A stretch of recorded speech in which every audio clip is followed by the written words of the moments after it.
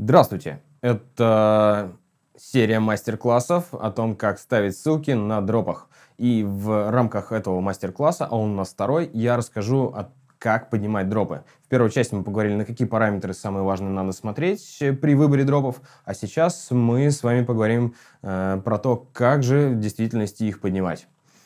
Э, начнем с того, что для того, чтобы поднять дроп, надо познакомиться с таким э, ресурсом, кто вдруг не знаком, э, как э, веб-архив. Веб-архив — это сайт, на котором хранится история сайта и его копии. То есть происходит регулярное бэкопирование ваших всех ресурсов интернета, сколь-либо значимых. И вот эти копии хранятся в этом ресурсе webarchive.org web.archive.org. Для примера я показал на слайде, как выглядит история, и вот э, верхняя вот эта длинная шкала, она показывает о том, э, в какие годы сайт э, существовал, когда происходило бы копирование, в какие месяцы и как, какого объема был сайт. То есть в какие даты какие объемы. То есть каждый вертикальный столбик в этой диаграмме – это одна из копий э, данного сайта в разные периоды, в разные годы существования этого сайта. И для примера я показываю, что вот э, в левом нижнем углу у нас э, вот этот сайт выглядел вот так – желтенький, да, он такой. И э, сейчас там в 17-18 году он выглядит вот так вот, там уже э, по-другому как-то выглядит. При этом, если мы просмотрим все копии этого сайта, там через сервисы, которые я показывал в предыдущей части, либо здесь в веб-архиве, мы поймем, что в действительности, на самом деле, этот сайт не менял тематику, и он как был про приготовление блюд, так и остался.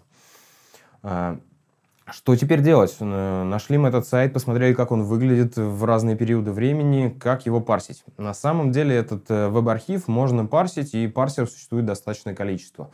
А, в основе как бы, всех работы лежит э, технология, которая описана а, по первой ссылке.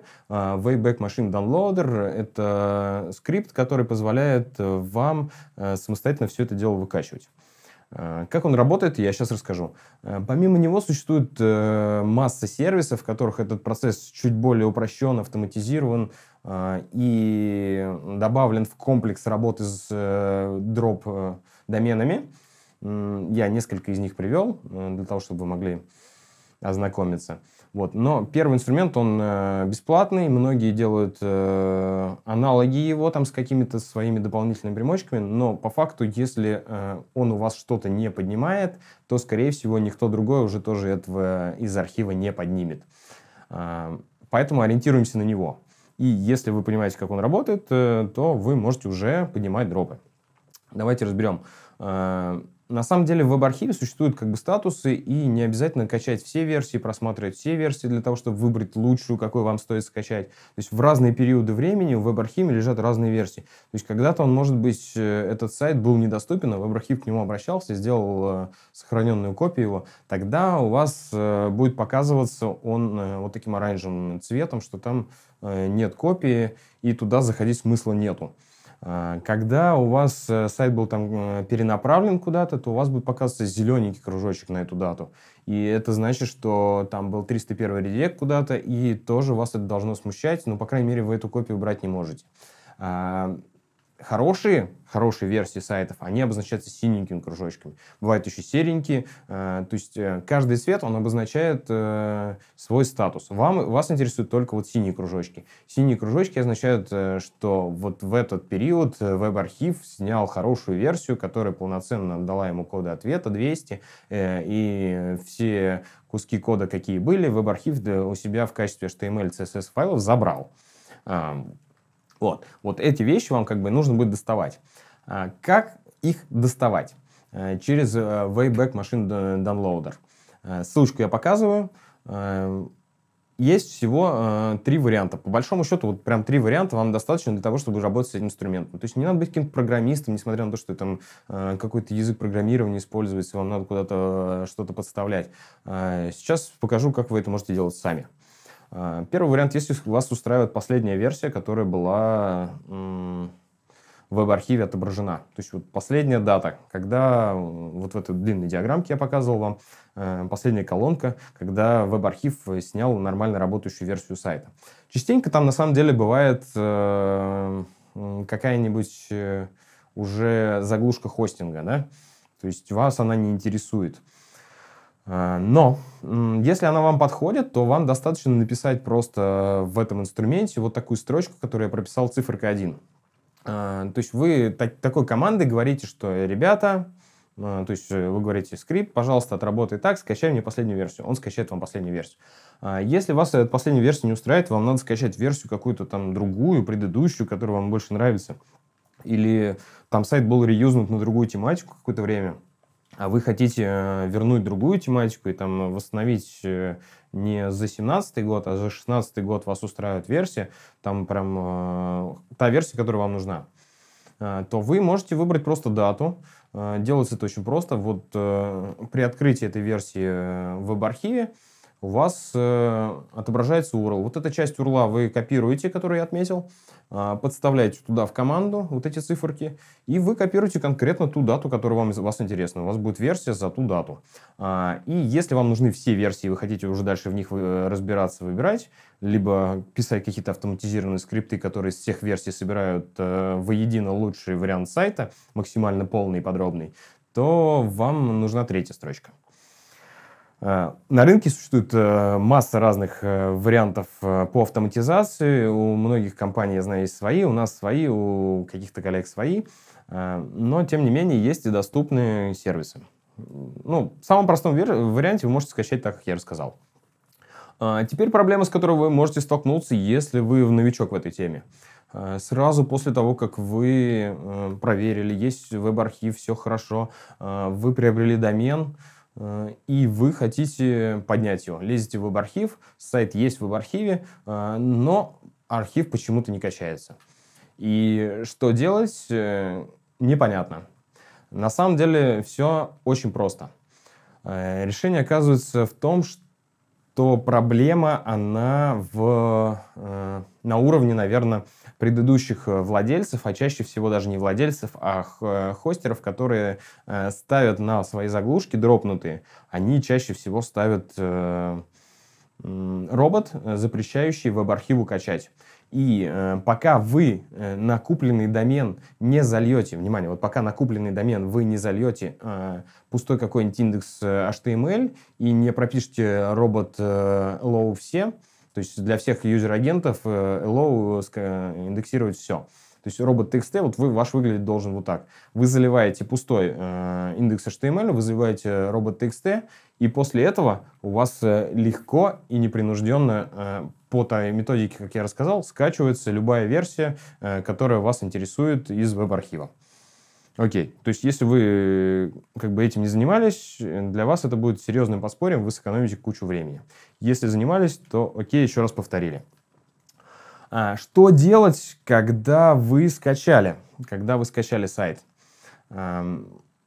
На самом деле его надо приводить в порядок, но приводить в порядок при определенных условиях, если он там выстрелил, ссылки сработали, э, стоит его переводить на CMS, не стоит.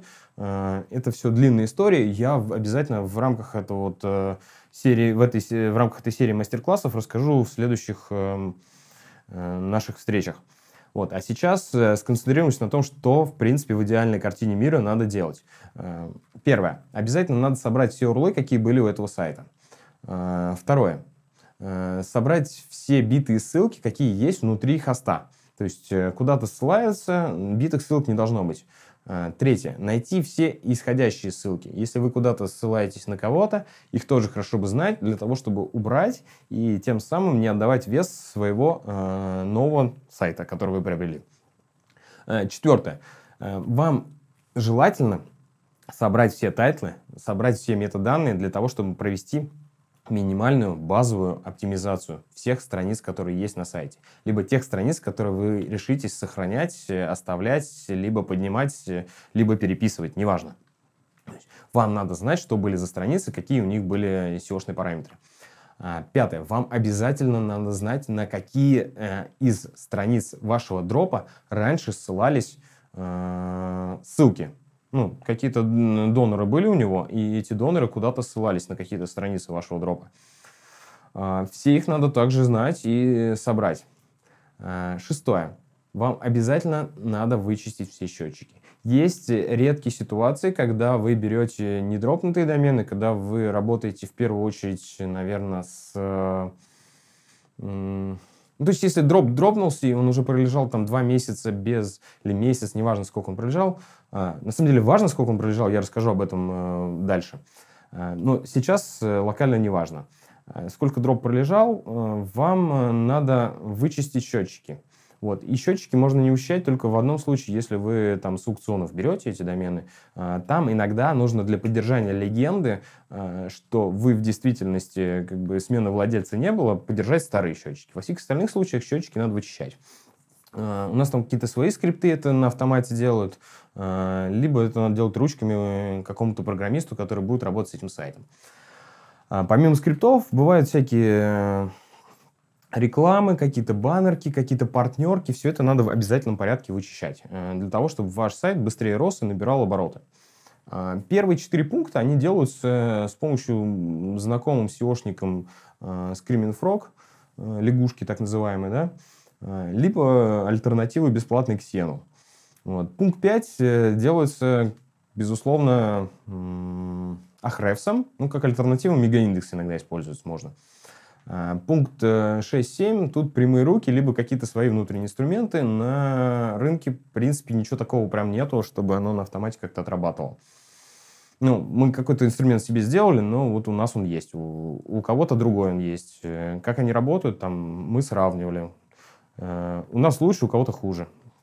Как у вас? Ну, если у вас нет, то тогда программист просто должен пройтись по всем страницам и вычистить перед тем, как на CMS это все сажать. А, следующий пункт идеальной картины опять. Если вы дроп подняли, то вам надо понимать, что происходит с его трафиком. А, понимание того, что дроп э, вы подняли не зря, оно базируется в первую очередь на том, пошел ли у него трафик.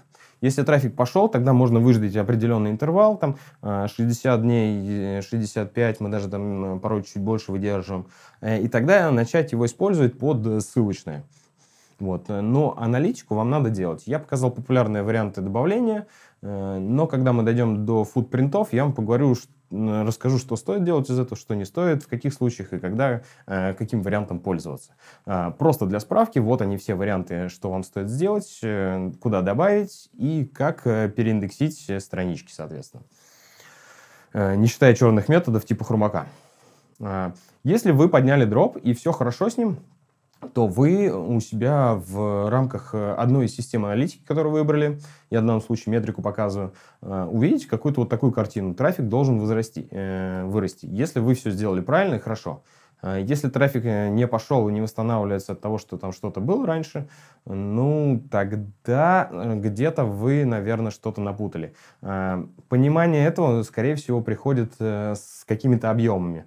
Но я основные шишки, которые могут быть уже за эти два мастер-класса вам разжевал. То есть в большинстве случаев я думаю, что у вас трафик будет а, прям сразу вот так вот возвращаться, если вы внимательно все послушали и сделали, как я просил.